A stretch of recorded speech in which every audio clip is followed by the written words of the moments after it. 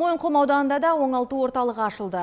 Аудан орталығында тірек қимыл аппараты бұзылған және психоневрологиялық ауытқулары бар мүгедек балаларды қамтуға арналған шағын орталық өз жұмысын бастады. Оңалту орталығының басты мақсаты мүмкіндігі шектеулі балаларды ортаға бейімдеу, баланы өзіне қызмет көрсететін жағдайға жеткізу. Орталықта психолог, медбике, музыкант, массажист, әлеуметтік қызметкер, спорт маманы сынды қызметкерлер бар. Бірлестік Қазақстан Республикасы денсаулық сақтау және әлеуметтік даму министрінің 2015 жылдың 26 наурызындағы нөмірі 165 бұйрығын басшылыққа алып, 8 қызмет түрінен қызмет көрсетеді.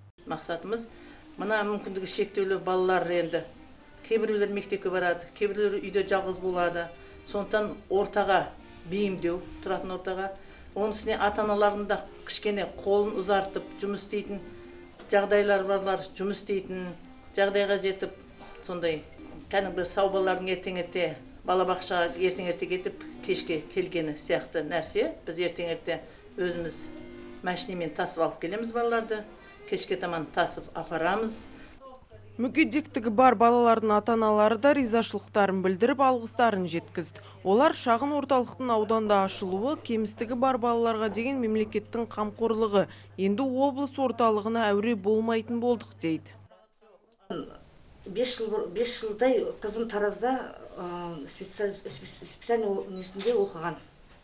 Сол жақтан арнайы осындай мектеп ашылғасын өзіміздің мойынқұмда соған өзім арнайы шығарып алып келіп мін көп көп рахмет. Өстіп осындай орталық ашып жатқандарына жақсы. Барлығы өзіміз өзім өз басым өз қуаныштымын чтобы осындай орталық ашылғанына.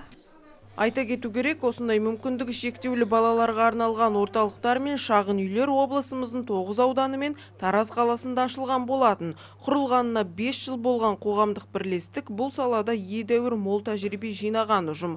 Енді аудан әкімдігінің жұмыспен қамту және әлеуметтік бағдарламалар бөлімінің ұсынысымен Мойынқұм ауданында да ашылып отыр. Сапар Жамал Оразбекова, Қуаныш Көбенғараев, Жамбыл Ньюс, Мойынқұм ауданынан.